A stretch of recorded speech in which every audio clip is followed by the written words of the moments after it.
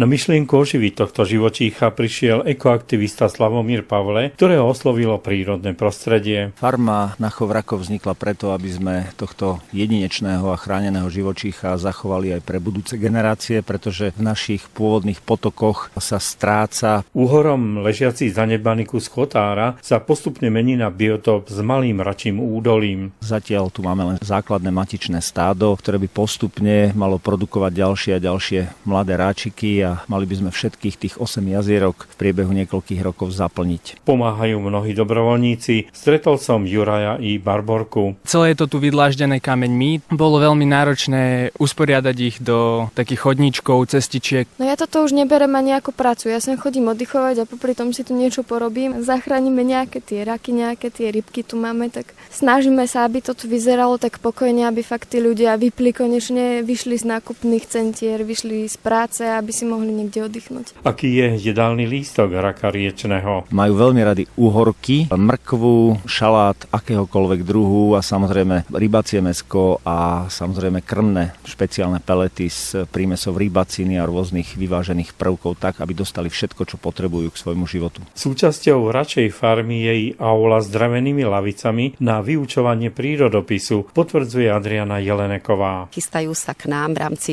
svojej výuky prírodovedy. Tie deťurence to vidia len na obrázkoch a nie takto priamo v živej prírode, vytiahnuté z jazierka a možno aj to krmenie ju ukážeme.